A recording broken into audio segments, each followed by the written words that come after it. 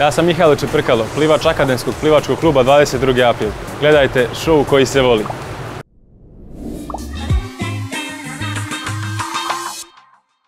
Mihajlo, kaži mi kad si otkrio tu ljubav i strast prema plivanju? Kad je to tačno bilo?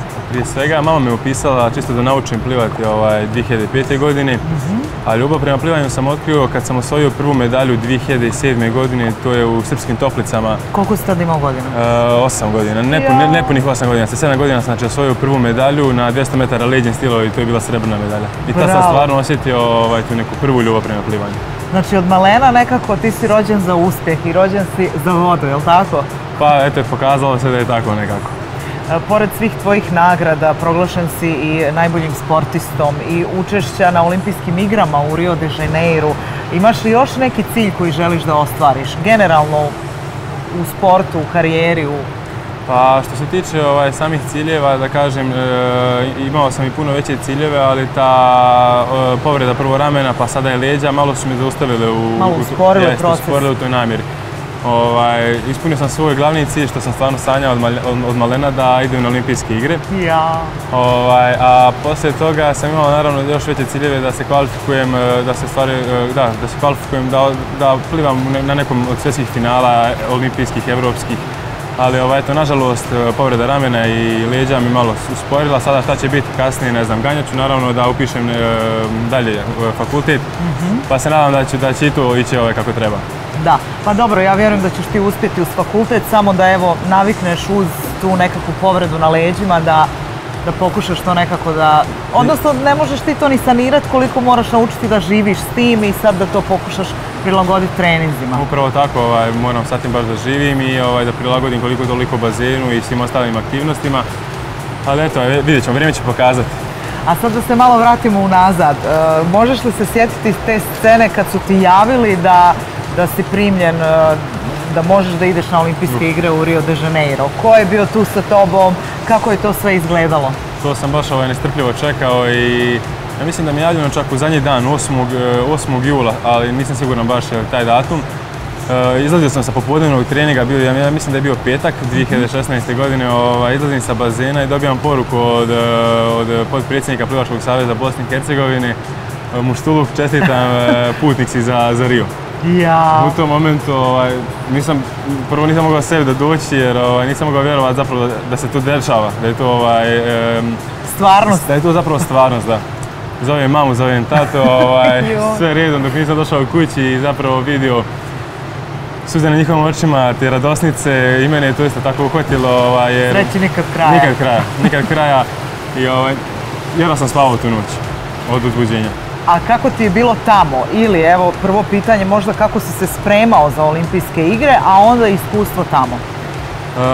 Pa spremao sam se od 2015. godine kada sam oplevao normu, ovaj, u, prvo u Gruziji, onda u ruskom kazanju. E, tada smo već počeli pripreme, jer, a tada nisam znao da ću uopšte ići, već sam samo znao da sam, e, da sam, da sam mogući kandidat. E, Tada su počele pripreme koje su bile stvarno na- naporne i nažalost u februaru 2016. godine napukla mi tetiva bicepsa, što me stvarno dosta, dosta unazadilo i tri mjeseca desnom rukom uopšte nisam trenirao dok nisam to sanirao. Samo sam plivao lijevom rukom. Rizikovao sam da povrijedim i lijevu jer sam samo njom, vukao, ali ovaj, eto, ispalo je sve dobro. Ali eto, dva mjeseca poslije, e, poslije saniranja povrede sam saznao da idem. Imao sam e, tačno, mislim, pet ili šest sedmica da, se spremim što je bolje moguće sa obe ruke. Da, napravim što bolji rezultat tamo i radili smo ovdje svakodnevno po 5-6 sati i samo smo plivali. Pored toga sam e, radio fitness po sat do, do 2 i stvarno sam bio po čitav dan na bazenu dok god nisam otišao na olimpijadu. I naravno tamo kad sam došao, ovaj, to, je, to je dio ovaj, koji, koji ne, znam kako da objasnim, da ispričam. Nećeš nikada zaboraviti. Definitivno nikad u životu. Da. E, šta si sebi negdje govorio, na koji način si se psihički pripremao onog momenta kad treba da skočiš u vodu, taj pritisak trema, ali i ogromna doza adrenalina i ljubavi, ali kažem, prvenstveno pritisak jer očekuje se mnogo od tebe. Kako si se onda borio nekako tad sam sa sobom? E, tačno se sjećam ovaj, tih nekoliko minuta prije trke kada sam čekao u toj sobi ovaj, da me prozovu i da izađem na, da izađem na, na start. Ovaj, bilo je stvarno napeto, ali opet raz- najviše sam razmišljao o Banja Luci. Razmišljao sam, da, razmišljao sam o Ja. Banja Luci, ovaj, šta zapravo ti koji, me- koji smo u to vrijeme pratili, ovaj, šta oni radi i o čemu razmišljaju. ja. E, pokušao sam da budem što više opušten jer ovaj, e, nervoza nikako nije išla, ovaj, nije, nije išla na korist. Tako da ovaj, samo sam, u stvari e, šta mi je bilo najbitnije, bilo mi je da ne skočim ranije. Jer ovaj, čim, čim uskočim u uvodu, onda znam šta trebam da radim. Onda ti je već tvoj teren, tebi je onda lakše. je moj teren. Samo da ne skočim ranije, da ne bi nešto, da me trema ne bi zeznula pa da uskočim ranije, onda bi bilo sve gotovo. Dakle, samo sam se naravno koncentrisao na to, da ne skočim ranije i kad uđem u vodu da uradim ono, ono što najbolje znam. I kad si se vratio ovdje na naše prostore, naravno mnogobrojni tvoji fanovi, naravno i prijatelji, i porodica i mediji su te nekako dočekali, punog srca, jel tako? Jeste, to mi je bilo stvarno izuzetno drago jer sam vidio ovaj, da nisam sam i da, su, da, stvari, da, da me neko pratio i da sam imao tu podršku. Da te koja- ljudi vole, podržavaju. Jeste, jeste. Koja mi je stvarno izuzetno značila. I, ovaj, dobio sam naravno i preko Instagrama i preko Facebooka sam dobio dosta poruka koje, ovaj, koje su mi jako puno značile. I stvarno smo mi dosta podržali i prije trke i poslije trke sam dobio ovaj, e, prilično puno čestitki i stvarno hvala im.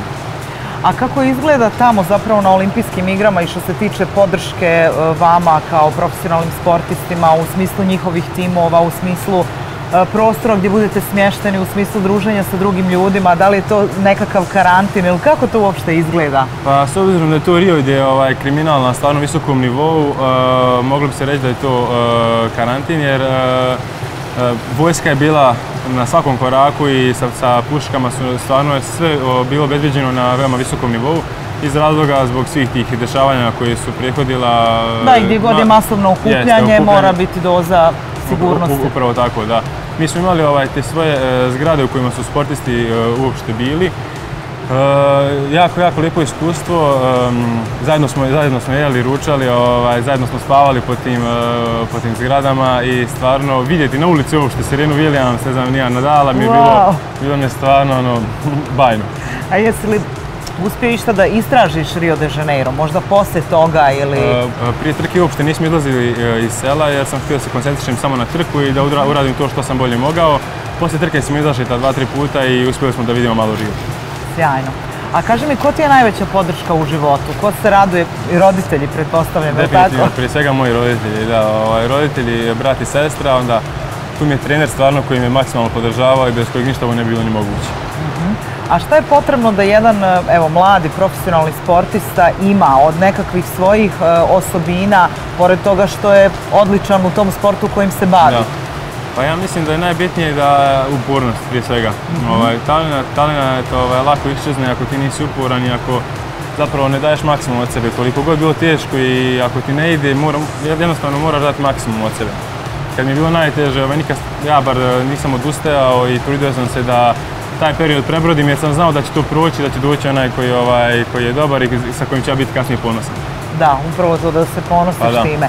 Možemo li sumirati onda u jednoj rečenici, ako želite uspjeh, to bi bilo, na primjer, ljubav, disciplina, evo ti Jeste, e, odredi šta je to i kojim redom? Ljubav, disciplina, žrtva prije svega, e, velika žrtva i jer e, bez toga ne možeš, ne možeš nikako da uspiješ.